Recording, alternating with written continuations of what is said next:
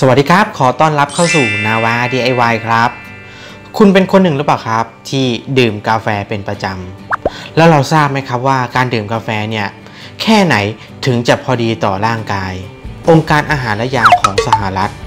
ได้ออกมาชี้แจงว่า หากคุณดื่มกาแฟในปริมาณปานกลาง จะไม่มีผลเสียต่อสุขภาพของเราครับ ขนาดปานกลางก็ประมาณ 2-3 แก้วต่อวัน แต่ก็คงไม่มีสูตรอะไรตายตัวนะครับ เพราะว่าขึ้นอยู่กับสภาพร่างกายของเรา แต่ก็ใช่ว่าทุกคนจะสามารถดื่มกาแฟได้นะครับ วันนี้นาวา DIY ได้นำเอา 6 ข้อนะครับสำหรับผู้ที่ไม่ควรดื่มกาแฟอย่างเด็ดขาดมาฝากครับ จะมีอะไรบ้าง เดี๋ยวเราไปดูกันเลยครับ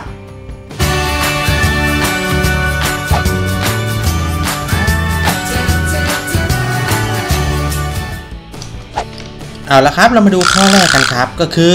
เด็กครับ เด็กเล็กนะครับไม่ควรดื่มกาแฟ โดยเฉพาะเด็กที่อายุต่ำกว่า 10 ปีครับ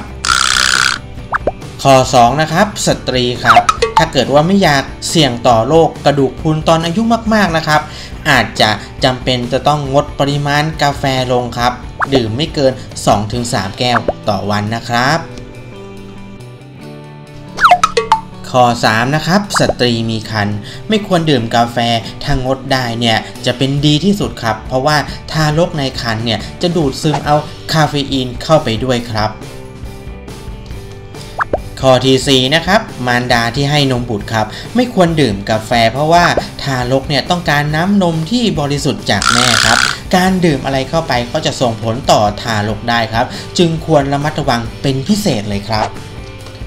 มาถึงข้อที่ 5 กันแล้วนะครับ ผู้ที่เป็นโรคหัวใจครับ ถ้าเป็นคนชราที่มีโรคหัวใจอยู่นะครับผม คาเฟอีนนะครับในกาแฟเนี่ยจะทำให้การทำงานของหัวใจมีประสิทธิภาพมากจนเกินไปครับ อาจทำให้หัวใจเนี่ยเสื่อมเร็วขึ้นต้องระมัดระวังเป็นพิเศษเลยนะครับ และข้อที่ 6 ครับผม ผู้ที่เป็นโรคกระเพาะครับ ควรงดกาแฟนะครับ เพราะว่าคาเฟอีนนะครับจะไปกระตุ้นการหลั่งของน้ำย่อยในกระเพาะครับผมยิ่งเพิ่มกรดในกระเพาะทำให้อักเสบมากยิ่งขึ้นครับ เป็นยังไงกันบ้างครับ ถ้ารู้อย่างนี้แล้วนะครับ ก็ระมัดระวังในการดื่มกันด้วยนะครับ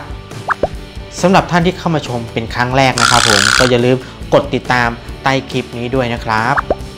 แล้วเราจะได้นำเรื่องราวดีๆนะครับ มาฝากท่านเป็นประจำ และถ้าเกิดอยากได้รับการแจ้งเตือนนะครับ ก็กดรูปกระดิ่งแจ้งเตือนด้วยนะครับ